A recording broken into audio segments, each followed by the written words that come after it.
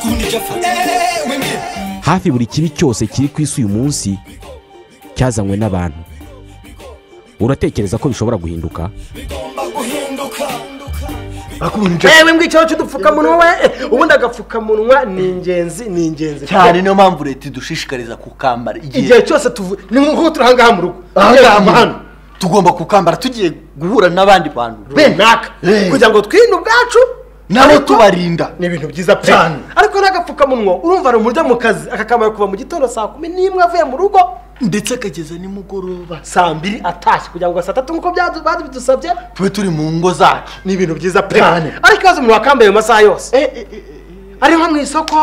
N'ahantu henshi hatandukanye aho yakira atanga serivisi cyangwa se ari mu kazi gatuma icyokere kimanuka. Bibaza ko ariho kandi ategetswe kugakoza hehe guhera hano hano hano ku mazuru. Mazuru?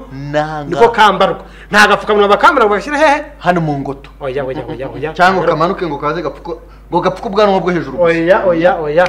Niko kambarwa neza ga- ga- gatwikiriye hose. Hose. ariko ikibazo n'umuntu wambaye ako gapfukamunwa Eh. asanga n'ibibazo yuko wenda afite impumuro mbi hehe. Mu kanwa. Urumva atari ikibazo? Ni ikibazo. Ibaza hazamo impumuro mbi hajyamo n'akayaga noneho nibura. Noneho byivangavange. N'umwuka wose usubiramo usange noneho pe. ni- ni Eh.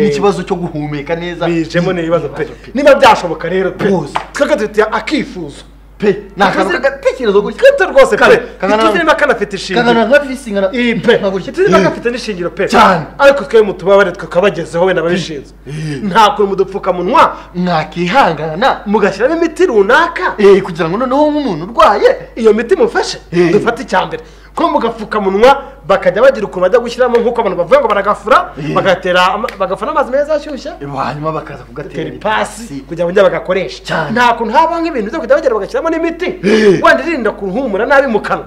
Ugenda uka- ukakambara? Ya miti ikaza kuba uri ku- gice nk'aho ukajya kuyishyirishamo Cyane.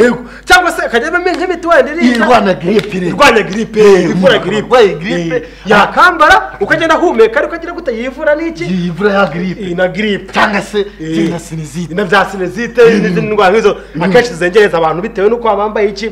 Udupfukamunwa pe. Cyane. zijya ari ibintu byiza. Abantu bagatonda umurongo tukamenya ni ahantu habugenewe. nta kavuyo bari buhateze. Cyane. tukamenya ngo umurongo uragororotse. Kandi harimo iki metero hagati y'umuntu n'undi. bose bambaye udupfukamunwa twabo. Eh. akajya aze yagera akagakuramo akavuga serivisi ashaka ko mumushyiriramo Cyane. umwe akaza ati ndashaka urashaka tugushyiramo iki ndashaka mushyiremo wa muti wo mu mazuru urwanya giripe urwanya giripe Yego. eh giripe yakuzonze Yanzonze. eh, bakagushyiriramo? Cyane. ukishyura nimba ari desa cyangwa ngahe ukagenda. Eh. undi undi twihutishe. Ndashaka nyine mushyiremo umuti u- aha mu kanwa nyine ntabwo hari oderi nziza Eh, ntabwo hagira impumuro nziza. nta mpumuro nziza iri gusohokamo Eh, okay. Bakagushyiramo umuti wawe mugapfukamunwa kawe bakakuguha ukakambara neza nk'uko bisabwa. Hanyuma ukigendera ukigendera Eh. ariko buriya mu bintu byose byiza. Byaba byiza gute?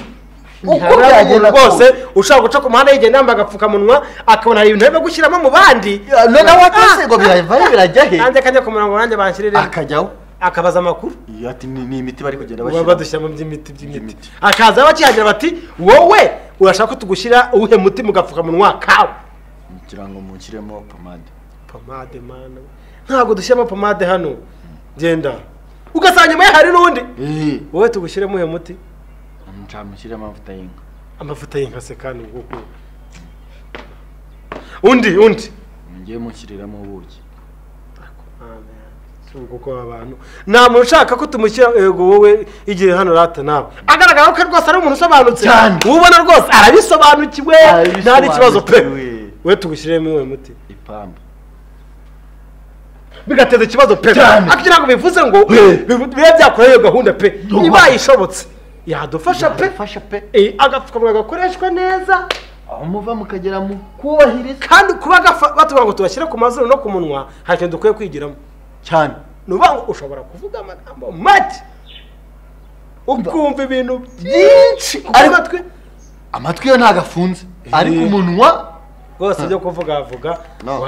Kandi rwose twebwe mutubabarire. Nimba uzi yuko uri umuntu w'umukirisitu ntabwo tubyanze. Urimo uragora abantu. Harajya ahantu bati se wowe kudakaraba intoki bimeze gute? Ah, ngo ngewe rwose ngo rwose. nta sabune ok niba nta sabune rihari? Dore koresha iki? Alcohol. Ati reka reka reka sinshaka gusinda rwose. Ati ngiye kuva nakizwa bibiri na kabiri. Ntago nigeze nkoresha rukoro. Reka reka reka rukora ntabwo. Reka reka singiye gusubira. Singiye gusubira mu byaha. Ntago na- arukora njyewe. Ngewe mpagane ndeba. reka reka reka reka reka reka reka ibyo nyumvire rwose mu mu mugenzi wacu. Rwose muvandimwe. koresha agapfukamunwa neza. Hanyuma ukaraba amazi meza n'isabune. Ubundi ukurikiza gahunda uko zisabwa pe. Cyane. bitari ibyo. Ibi rwose bigomba guhinduka rwose.